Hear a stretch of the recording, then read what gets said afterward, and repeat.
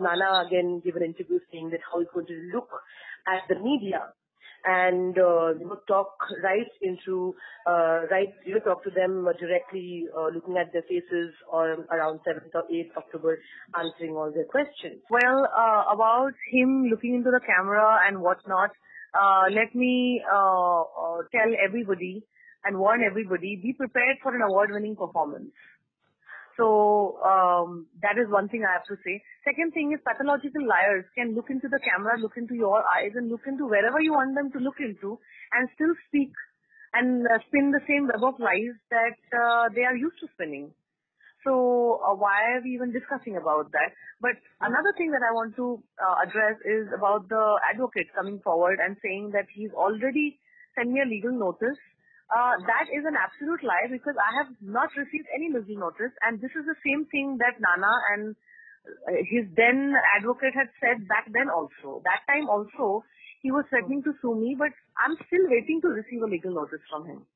And the second point I want to raise is what on what grounds? Yeah.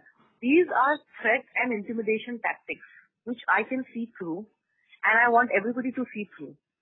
So for all those people who are wondering if they should come forward or not, when you come forward to tell your story, the person who you are naming and shaming is extremely afraid and shaken.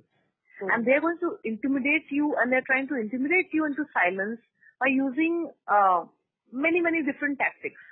They're going to try and uh, throw you off by using legal mumbo jumbo, uh, by using, uh, you know, a legal threat uh, because they know how the law and order system of our country is.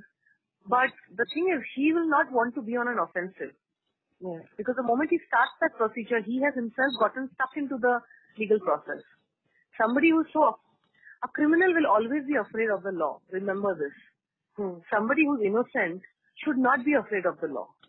A criminal will always be. So he will always avoid being entangled in the law. But he will use the law to to pose a threat on someone.